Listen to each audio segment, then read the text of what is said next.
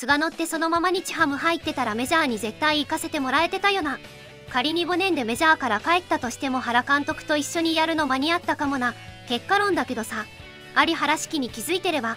結果次第だろうけど下手すりゃもっと早くポス認めてそう。普通の強行指名じゃないし。長野とか巨人に関わったせいで2000本無理そうやし巨人に関わると損しかしないな。メジャー行かないで終わったの笑う。拒否してアマチュアで怪我して二度とドラフトにかからなかったやつもいる。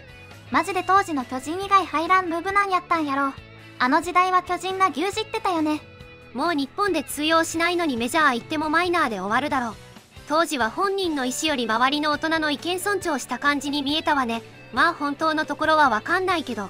ごねて巨人入った割にあんま日本一慣れてないんちゃう？なんか雑魚エースのイメージあるわ。